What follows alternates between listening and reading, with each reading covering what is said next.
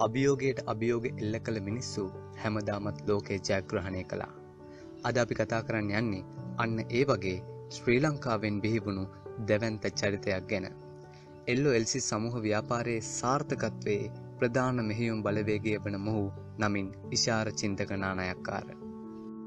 එල්ලෝ LC සමූහ ව්‍යාපාරයට අයත් කාම්බෝජ්‍යාවේ ශුද්‍ර මූල්‍ය ආයතනයක් කොරියානු බැංකුවක් විසින් ඇමරිකාන් ඩොලර් මිලියන හයිසිය තුනක මුදලකට මිලදී ගැනීමත් සමඟ මින් පෙර ඇමරිකාන් ඩොලර් මිලියන පන්සිය පණහකවත්කම් සමගින් දෙදස් දහතුන වසරේදී මෙරට ධනවත්ම පුද්ගලයා බවට පත්ව සිටි දම්මික පෙරේරා අභිබවමින් මොහු ශ්‍රී ලංකාවේ ධනවත්ම පුද්ගලයා බවට පත්වෙනවා. එක්දස් නවසේ හැත්තතුන වසරේ උපද ලබන ඉශාරනානායක්කාර සැබවින්ම ව්‍යාපාරික පවුල් පසුබිමකින් පැවතෙන්නේ. ගතික ව්‍යාපාර පරිසරය තුළ සම්පත් සාර්ථකව මෙහේවන මොහුගේ පියාද අති දක්ෂ ව්‍යවසාහයකයෙක්. නමින් රාජානානායක්කාර. එක්දස් නමසේ හැත්තතුන වසරේදී ඉශාර ට්‍රේඩස් ආරම්භ කරන රාජානානායක්කාර නැවත සකසන ලද වාහන ලංකාවට ආනයනය කිරීමේ පුරෝගාමික ලෙස සැලකෙනවා.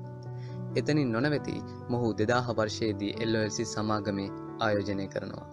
දෙදස් හත වර්ෂයේදී ලන්දෙසි සංවර්ධන බැංකෝක ආරාධනයත් සමඟ විදේශය වෙළඳ පොල්ට පිවිසෙන මොවුන් අදවනිමිට දෙස් විදෙස් රටවල් රැසක තම ව්‍යාපාර කටයුතු සාර්ථකව පවත්වාගෙන යනවා.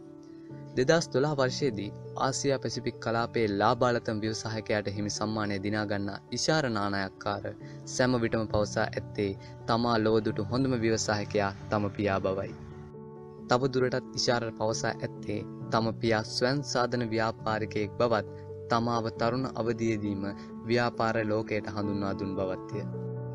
ඕස්ට්‍රේලියාව ජපානය ආදී රටවල විදේශ අධ්‍යාපනය ලබා ඇති මොහු අදවින්මිට commercial leasing Ishara traders Mathurata plantation Browns and company ආදී සමාගම් රැසක අධ්‍යක්ෂක දූරය හොබවනවා.